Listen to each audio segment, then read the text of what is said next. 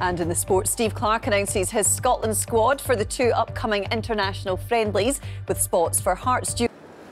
OK, let's get tonight's sport now with Amy. Hi. Hi, Laura. Thanks very much. Good evening. Scotland head coach Steve Clarke has named his 25 man squad for the forthcoming friendlies against the Netherlands and Northern Ireland.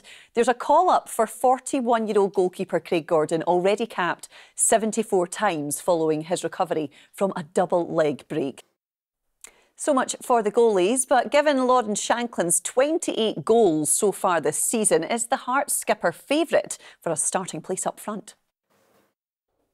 Peter Leven admits he is surprised to find himself back in the managerial hot seat at Aberdeen for the second time this season following Neil Warnock's departure. After Hearts, Spartans, Rangers and holders Celtic booked their Scottish Cup semi-final places last weekend, league action returns this weekend as the teams begin 10 post-split fixtures with four points separating SWPL title challengers Rangers, Celtic and Glasgow City. Rugby and Scotland defence coach Steve Tandy insists the players are smarting and determined to learn from Saturday's defeat by Italy in Rome that all but ended the team's chances of winning the Six Nations Championship. And in the Championship, Laura Partick Thistle play Raith Rovers tonight. It is live on the BBC Scotland channel from 7.30. Good stuff. Thank you, Amy.